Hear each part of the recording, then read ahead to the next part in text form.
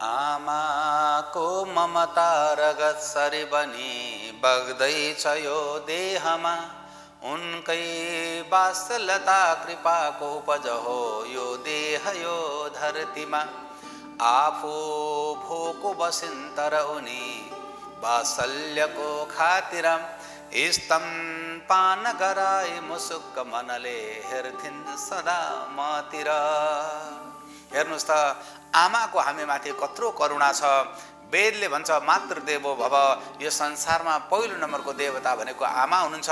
त यति ठुलो हाम्रो हिन्दू सनातन परम्पराले आमालाई किन स्थान दियो भन्दा आमाको ममता रगत सरी बनी बग्दैछ यो देहमा। हाम्रो शरीरभित्र जो रगतहरू बगिरहेका छन् यसमा पनि सबै आमाको ममता छ। बुबाको स्थान ठुलो छ? बुबा बीजदाता भनेर बीज दिनुभयो तर त्यसपछिका सारा समग्र जीवन भनेको हामीहरूलाई आमाले दिनुभएको छ। कि आमाको ममता रगसरी बनी बग्दैछ यो देहमा।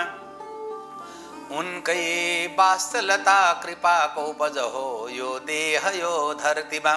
आमाले हामीलाई पेटमा बोकिदिनु भयो जन्माउनु भयो आमाले अनेकौँ अनेकौँ कष्ट सहँदै हामीलाई हुर्काउनु भयो जन्माएर पनि आमाले हामीलाई नहुर्काइदिएको भए आज यो संसारमा हामी यसरी हिँड्न सक्दैनथ्यौँ आमाले हामीलाई आफ्नो पेटमा नबोकिदिएको भए आज हामी यो संसार हेर्न पाउँदैनथ्यौँ कतिपय ठाउँमा मान्छेहरूले मलाई आमाले के दिनुभयो बुबाले के दिनुभयो भनेर भन्दछन्। तर दुई मिनट विचार गरौँ त यो अमूल्य शरीर आमा बुबाले नदिएको भए कसले दिएको त? के दिएर तिमीले यो शरीर प्राप्त गर्छौ? यो संसारमा शरीरको बदलामा दिने अर्को कुरा के हुन्छ? त ती सबै यी कुरा हामीलाई आमाले उपलब्ध गराउनु भएको छ। अनि आमा कहिले भोगले ग्रस्त हुनुभयो कहिले रोगले ग्रस्त हुनुभयो कस्ता कस्ता पीडाहरू जीवनमा आइपरे त्यस्तो बेलामा पनि सानो बच्चा जब आमाको छेउमा दुध पिउने आशा गरेर गयो त्यतिखेर कुनै आमाले भन्नु भएन म भोकले ग्रस्त छु म प्यासले ग्रस्त छु म चिन्ताले ग्रस्त छु तिमीलाई म दुध पिलाउँदिनँ भन्नु भएन। त्यस्तो पीडाको बेलामा पनि सानो बच्चालाई जो दुध पिउन भनेर आएको छ आमाले काखमा राखेर स्तनपान गराउनुहुन्छ। आमालाई पीडा त छ तर पनि आमा त्यतिखेर मुसुक्क हाँस्नुहुन्छ।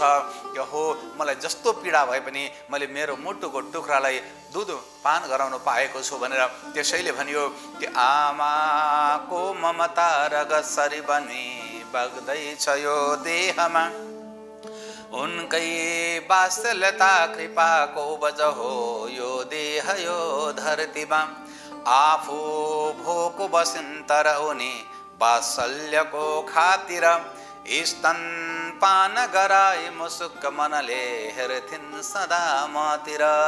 यस्तै आमाको श्री चरणमा हामीले नमन गर्नुपर्दछ। आमा हजुरको चरणमा नमस्कार छ। आमा हजुरको चरणमा नमस्कार छ। सबै दिनहरू पवित्र छन्। आमाको लागि श्रद्धा गर्नको लागि कुन दिन चाहिँ हुँदैन भन्ने छैन कुन समय हुँदैन कुन बार हुँदैन भन्ने छैन। फेरि पनि हाम्रो शास्त्रहरूले आमाको लागि स्पेसल एउटा दिन छुट्याएको छ। त्यो दिन हो वैशाख कृष्ण पक्षको औँसी तिथि जसलाई माता तीर्थ औँसी भनिन्छ। त्यो आमाको लागि छुट्याएको दिन हो। दिन त सबै महत्त्वपूर्ण हुन्छ तर जसरी बर्थडे म्यारिज एनिभर्सरी मृत्यु तिथि आदि दिन महत्त्वपूर्ण हुन्छन्। त्यसै गरी हरेक आमाहरूको लागि र आमाहरूलाई विशेष सम्मान दिनेका लागि माता तीर्थ औँसी महत्त्वपूर्ण हुन्छ। माता तीर्थ औँसीको दिन केही गर्न नसके हरेक व्यक्तिले प्रत्यक्ष उपस्थित भएर अथवा कुनै माध्यमबाट माताप्रति श्रद्धा व्यक्त गर्नुपर्दछ। मातालाई सम्झिने माताप्रति आदर भाव प्रकट गर्ने आदि कुरा देश काल र परिस्थिति अनुसार फरक पर्दछ।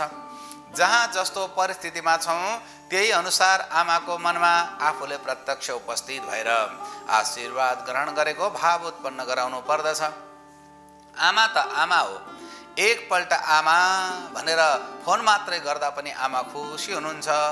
पर हुनेले phone Messenger WhatsApp Viber net आदि अहिलेको संसाधनद्वारा आमासँग सम्पर्क गरेर आशीर्वाद लिनु पर्दछ सके आमाको लागि प्रिय वस्तुहरूको व्यवस्था पनि गर्नु पर्दछ आमासँगै हुनेले आमाको चरण पखाल्ने आमाको निधारमा टिका र गलामा माला अनि चरणमा फुल अर्पण गरेर हातमा दक्षिणा सहित फलफुल र उपहारका वस्तु प्रदान गर्नुपर्दछ यसपछि आमालाई केही कुरा खुवाएर चरणमा ढोग्नु पर्दछ। फेरि आमाबाट आफूले पनि टिका थापेर रमाइलो गर्दै खानपिन आदि गर्नु पर्दछ।